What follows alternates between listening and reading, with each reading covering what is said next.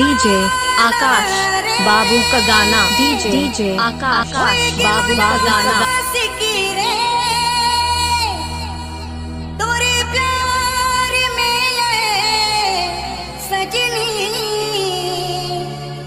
बनी गेलो मजनू